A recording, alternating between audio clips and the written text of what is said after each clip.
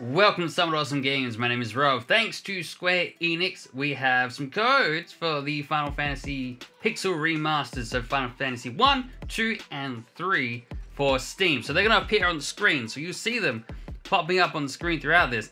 Well, I tell you about my history with Final Fantasy. So I grew up on Sega Mega Drive and then Nintendo 64. So my first Final Fantasy game was on the PlayStation 2 and that was Final Fantasy 10 and that meant there was nine other Final Fantasy games that I had not played yet. So the world of Final Fantasy was just opened up after number 10, which I'll be honest, it took me a long time to beat number 10. I got stuck just after you're camping on the cliff and then had to fight the big monster.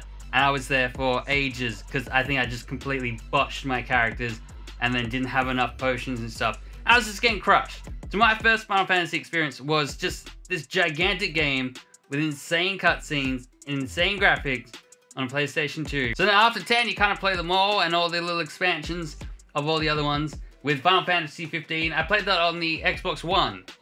So now we're on the Series X, we need a new one. Because that was, that was five years ago. Wow.